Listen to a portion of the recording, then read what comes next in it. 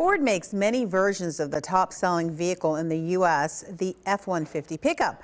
Now there's one that you can work and play. Dennis Buderbaugh has tonight's cool car.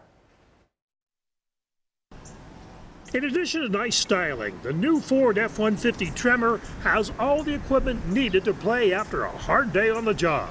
There's extra ground clearance, special off-road tires, a heavy-duty bash plate to protect the belly from rocks, and even tow hooks to pull it out of deep mud. Four-wheel drive is standard. While on the job, an optional power tailgate reveals the bed is a portable workshop, especially because of the Pro Power on-board option. It provides these 110 volt outlets for power tools. Then there's the tailgate itself. It's pre-marked with centimeters and inches for cutting materials. Stepping into the bed all day is easier with a built-in step.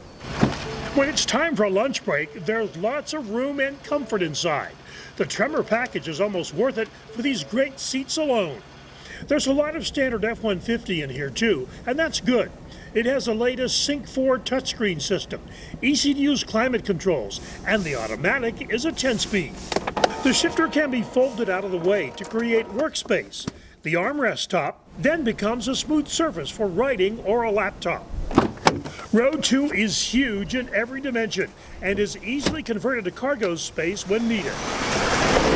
With a twin-turbo V6 and 400 horsepower, the Tremor is plenty fast and can tow up to 11,000 pounds. Handling is secure and the ride is surprisingly quiet for a truck. So, for the 2022 Ford F-150 Tremor 4x4 Super Crew, I say thumbs up to great utility, off-road ability, and comfort. Thumbs down to poor gas mileage. Dennis Buderbaugh, ABC 27 News. Dennis, Dennis averaged about 17 miles per gallon in the Ford. The pre-production truck had no sticker, but it should cost around $60,000.